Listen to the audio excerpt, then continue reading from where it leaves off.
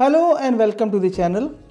Today I am here with yet another routine uh, small incision cataract surgery of a uh, hard brown cataract. And this patient presented to us with diminution of vision for 6-7 months. And he is a diabetic patient for 10 years. And on examination it was found that he was having an S4 grade nucleus sclerosis with substantial amount of posterior subcapsular cataract.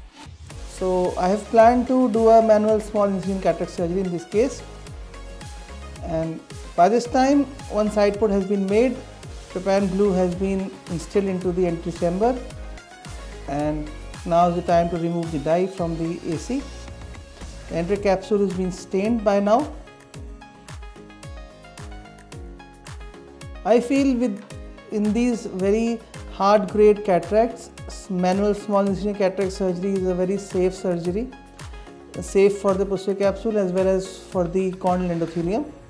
Because whenever we do phacoemulsification these cases there is substantial loss of corneal endothelial cell count and also there are chances of complications.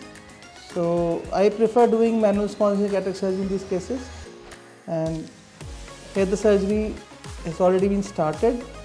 Rhexis has been initiated using a micro rhexis forceps.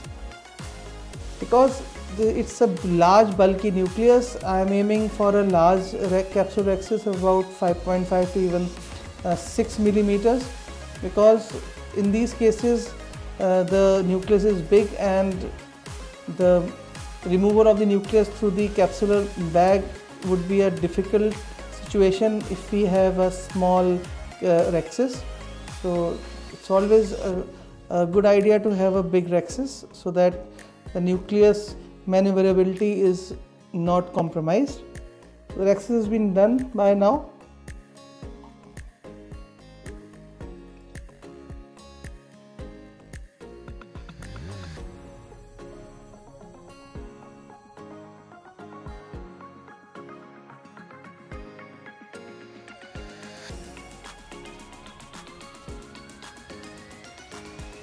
minimal cautery has been applied and now I am making a frown shape scleral incision about 6.5 millimeters.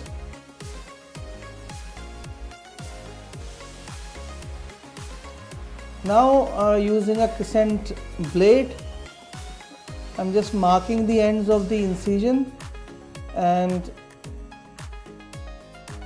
the blade now enters into this, into scleral tunnel and now into the cornea about 1.5 millimeters. The bevel of the blade has to be up so as to avoid any premature entry into the anterior chamber. If the bevel is parallel then we can have inadvertent premature entry which we don't want. So in this case the bevel is up, the corneal tunneling is done on the left side. Now I am doing it on the right side with good scleral pockets. And I am planning to have a good trapezoid shaped incision which is wider in the inside and less wider outside. So now is the time to enter the anterior chamber. Using a 2.8 bevel percent uh, I am just opening the tunnel cutting while moving forwards.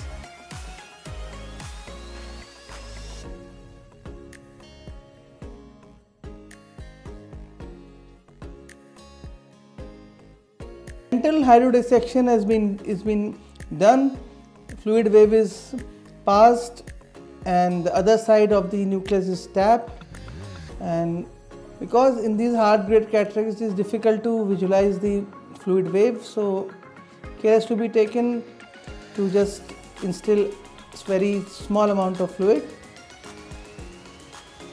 so after this hydrodissection I am taking two Sinskey hooks to just manually wheel out the nucleus from the capsular bag using a bimanual technique. One Sinskey just pushes the nucleus to the left side, other one hooks the equator and large bulky nucleus is just wheeled out into the anterior chamber using both the Sinskey hooks.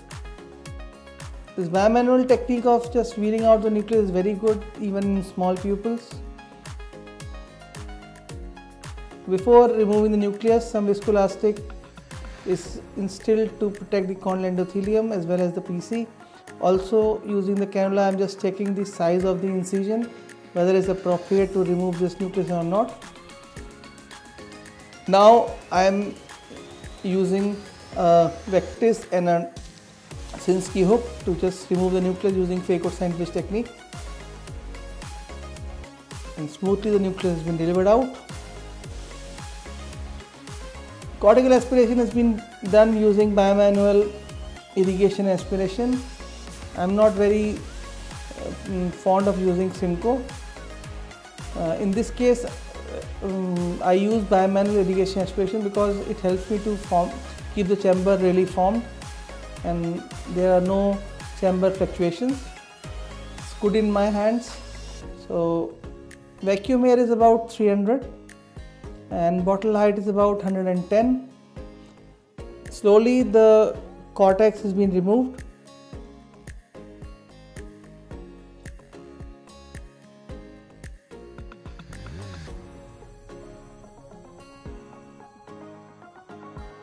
Cannula through the main incision causes lot of chamber fluctuations and I don't feel very comfortable using Simcoe through the main incision and to use Simcoe through the side port one has to have a big side port even to use a 23 gauge Simcoe. Still my preferred technique in SICS is always a bimanual irrigation aspiration. Hands are switched and the cortex is just being stripped off from the other side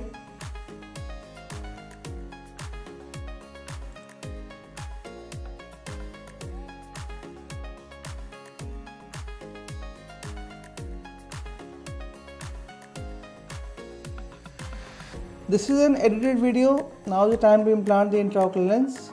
Capsular bag has been filled up using HPMC and here goes the foldable single piece monofocal spheric hydrophobic intraocular lens into the capsular bag. The leading haptic goes in the capsular bag and in a moment the trailing haptic will be just dialed into the capsular bag using a ball tip dialer.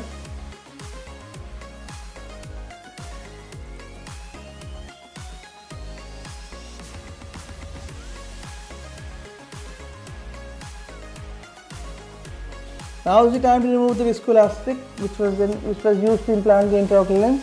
I am using the uh, irrigation uh, handpiece of the bimanual irrigation aspiration to just uh, gradually flush out all the viscoelastic from both behind the intraocular lens just by irrigation. I'm not using any aspiration right now. I'm just irrigating out the viscoelastic behind the intraocular lens and now from the front of the intraocular lens now using both the bimanual irrigation and aspiration and the residual visco is just been removed from the anterior chamber. Vacuum mean used here is about 450 and that's it. Some more viscoelastic has been removed, residual one. Bottle height is about 110. Chamber is very well formed.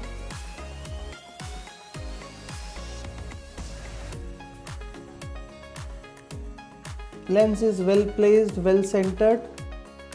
In this case that's it the case is done. Side ports are hydrated. I always prefer to put in one 10 nylon suture in the scleral wound whenever I am operating superiorly because it helps me to counteract the against the astigmatism which would have been caused by this large incision. The knot is buried that's it. The case is done. Hope you do like the video. Do like share and subscribe my channel. Help the channel to grow. And do comment in the comment box if you feel to have any specific video. I've got a lot of videos in my archives. So if you want to have any, any specific video on any specific topic do comment and do like and share this video. And thank you so much finally the conjunctiva is being closed using cautery and the patient did well. Thank you so much